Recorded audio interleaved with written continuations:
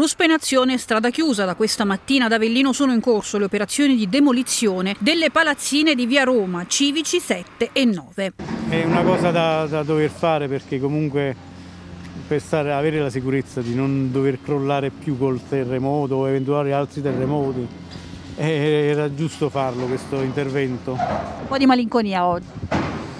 Sì, un po' così perché c'è tutto lì dentro, c'è tutto il mio passato. Un intervento dei privati che si concluderà dunque nel giro di pochi giorni. Abbiamo avuto assicurazione da parte dell'impresa che eh, accelereranno i tempi di demolizione, quindi penso di qui a poco riapriremo di nuovo la viabilità via, a via Roma. Sul fronte dei cantieri in città l'assessore genovese annuncia sarà l'anno della svolta per tunnel e metro leggera, le due grandi incompiute del capoluogo. La prima metà del 2022 dovrebbe vedere la fine di, di queste opere. 8 milioni da investire, mezzi pronti e accordo con l'AIR per completare ed è corsa contro il tempo. Si deve chiudere entro luglio o il rischio è quello di dover restituire i fondi all'Europa, circa 24 milioni di euro. La metro leggera, quello, il progetto è di quella di metterla in esercizio, siamo i nostri uffici, i nostri ragazzi stanno lavorando incessantemente su questo